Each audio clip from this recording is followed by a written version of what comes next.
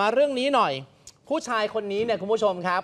มีเมียตัวเองก็ป่วยเข้าโรงพยาบาลก็พยายามที่จะโทรหาเมียค่ะให้มานอนเฝ้าครับไม่มาเฝ้าก็โทรเช็คนั่นแหละ เพราะว่าสามีไม่ค่อยมั่นใจในตัวของเมียเท่าไหร่เพราะรู้อยู่แล้วว่าเมียเนี่ยคุยกับผัวเก่า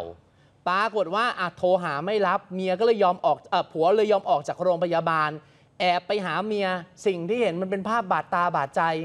เมียนอนกกอยู่กับผัวเก่าครับ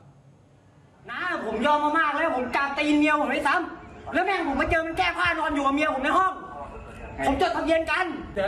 ผมหนีออกมาในสายน้ำเกลือเนี่ย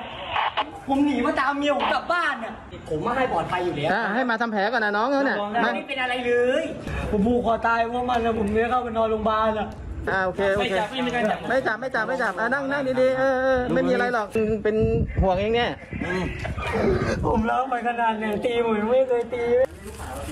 อันนี้ไม่ได้มาเป็นเพราะมันช้ำใจ ใช่ ผัวใหม่ช้ำใจที่เมียทำกับเขาได้ จดทะเบียนกันด้วยนะครับกับผัวคนเนี้ยแต่สุดท้ายเมียกลับมากินน้ำพริกถ้วยเก่าค่ะเพราะว่าตอนที่ผัวเข้าโรงพยาบาล เมียก็เอาผัวเก่า เนี่ยเมียมาหาผัวเก่าเออแล้วก็มาอยู่ด้วยกันที่นี่ คือตัวของพี่ผู้ชายคนนี้ชื่อวชิรวิทย์เนี่ยนอนโรงพยาบาลที่จันทบุรี ถอดสายน้ำเกลืออืมทั้งหึงทั้งหวงครับทั้งห่วงเมียค่ะจากจันทบุรีนั่งรถตู้มาที่ระยองนะฮะตรงเนี้ยเพราะรู้ว่าเมียจะกลับมาที่นี่ เพราะว่าเมียเนี่ยมีลูกติดกับผัวเก่า แล้วเมียก็อ้างกับผัวใหม่ ฉันเฝ้านอน ฉันนอนเฝ้าเธอไม่ได้หรอกอืมลูกฉันป่วยอืมเดี๋ยวฉันขอกลับมาดูลูกที่ระยอง ผัวบอกแหมแปลกๆฮะแปลกๆจะไปดูลูกหรือจะไปดูผัวกันแน่ สุดท้ายผัวก็เลยตามมาเจอ แล้วก็ดูมันเห็นภาพ แอบดูอยู่พักหนึ่งนะ แล้วสุดท้ายนี่ก็เข้าไปทำร้ายผัวใหม่ด้วยนะเออผัวใหม่ไปทำร้ายผัวเก่าคุณผู้ชมครับ คนที่บาดเจ็บ ชื่อว่านายบุญยากรถูกคัตเตอร์เนี่ยเนี่ยคุณผู้ชมครับ เราต้องเบลอร์เพราะว่ามันเป็นแผลเวอะเนี่ยค่ะครับโดนแบบฟันมันนิดนึงตรงแขนตรงเอ่อหน้าอกนะคุณผู้ชมแล้วก็นิดหน่อยหลังจากนั้นเนี่ยก็นำตาเอ่อก็นำส่งโรงพยาบาลไป ทีนี้คุณผู้ชมครับทางผัวเก่าเล่าให้ฟังอย่างนี้บอกผมอะไม่ใช่สิผัวใหม่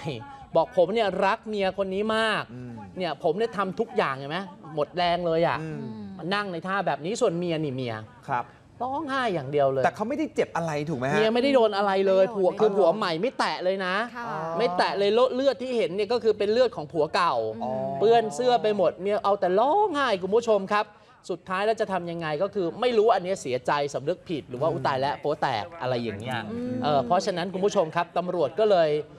เมียก็พาส่งโรงพยาบาล ครับ ส่วนผัวใหม่เนี่ยตำรวจพาไปโรงพักนะครับคุณผู้ชม อย่างที่ผมเล่าให้ฟังว่า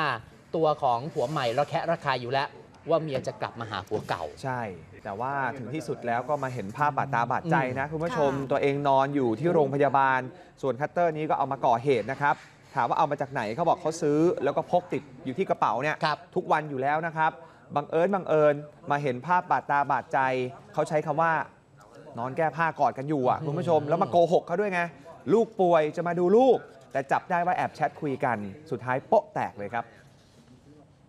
ผมหนีออกจากโรงพยาบาลครับมาขึ้นมาตามเมียกลับบ้านครับ ผมไม่คิดครับว่าผมจะมาเจอสภาพอย่างนั้นเราเป็นอะไรฮะที่ออกจากโรงพยาบาลผมเป็นโรคซึมเศร้าครับ